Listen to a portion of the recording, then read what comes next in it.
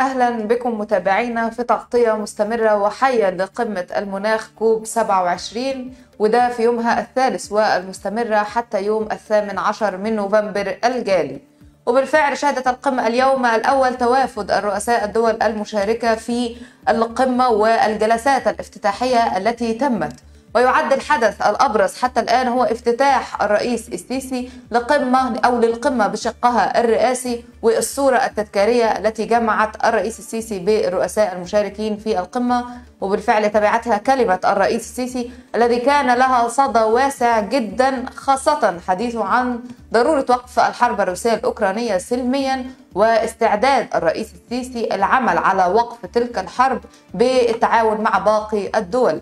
لما تخلفه تلك الحرب من آثار سلبية على اقتصاديات العالم. وبالفعل بدأت فعاليات اليوم الثالث والذي بدأ بقمة رؤساء دول الشرق الأوسط ودرج بمشاركة الرئيس السيسي.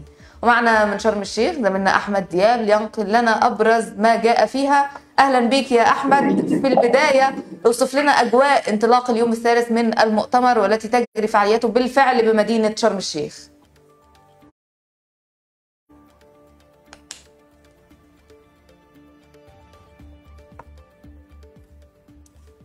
أحمد؟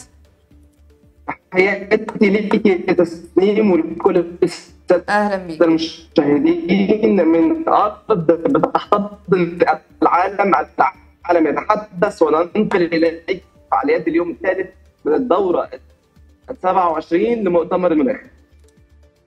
تسمعيني يا تسليم؟ نعم نعم أسمع. في الحقيقة إن منذ الساعات المبكرة تواجد الرئيس عبد الفتاح السيسي في استقبال بقية الرؤساء لم يتوافدوا أمس ووصل عدد الرؤساء إلى 120 ومن المتوقع أن يكونوا أن يزيدوا عن أكثر من ذلك 120 رئيس شاركين في المؤتمر 190 دولة. زي ما قلت لك في منهم 120 رئيس منذ الساعات الأولى مبكرا وبدات جديه ومناقشة طبعا أهم ما يشغل بال كل المتواجدين.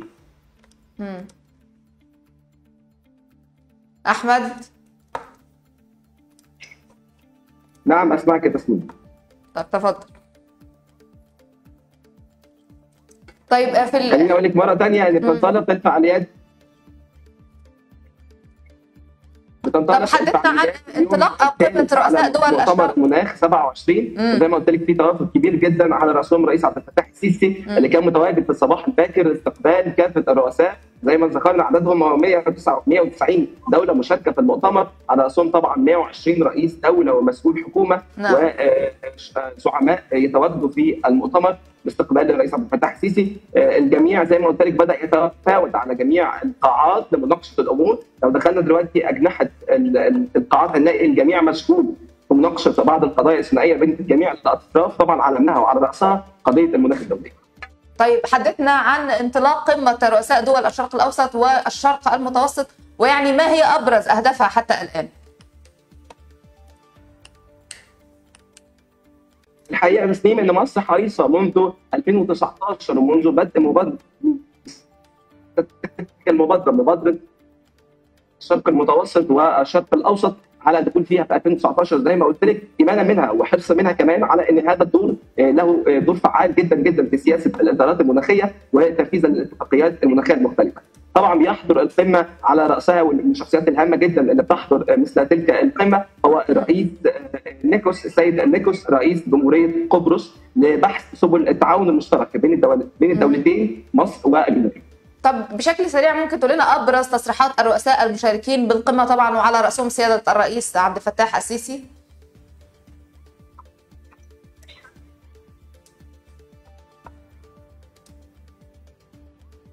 نعم في الحقيقة تسليم الرئيس عبد الفتاح السيسي فتح القمة وبدأ كلامه بتحية شكر وعرفان لكل الساده الحضور وأثنى على الجهود العظيمة اللي بتبذلها كافة الدول التزامهم بالتواجد وأكد إنه واضح جدا إن هذه القمة قمة فارقة وقمة مختلفة وقمة بتنتقل بينا من الحاط والوعود إلى مرحلة التنفيذ زي ما سيادته وضح. كمان شكر الناس وابدى إعجابه بالجهود المضنية من كافة الدول سواء الدول اللي شاركت والدول اللي ما شاركتش على تغطيتها الإعلامية الجيدة جدا لمثل تلك الفعالية بل إنه كمان أطلق مشروع قمة كوب 27 في العين السخنة بالتعاون مع النرويج وسفراء النرويج. نعم طب هل ده بالنسبة أي للرئيس عبد الفتاح السيسي اما بقية الدول مم. شارك بقية الدول شارك العديد جدا من رؤساء الدول أو المسؤولين عن الدول في فعالياتهم وتصريحاتهم لعل من أبرزها رئيس دولة أو رئيس وزراء دولة الأردن.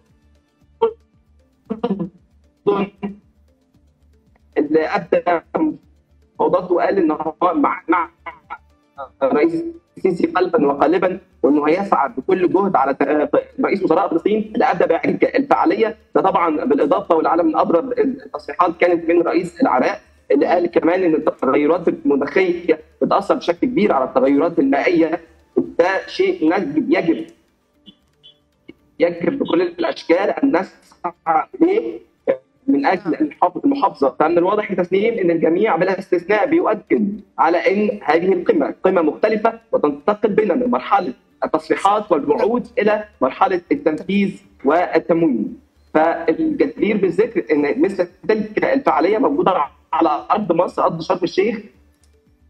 فيسعدني أقول لك هنا العالم يحتضن شرم الشيخ تحتضن العالم هنا العالم يبحث نشكرك يا أحمد على هذه المداخلة.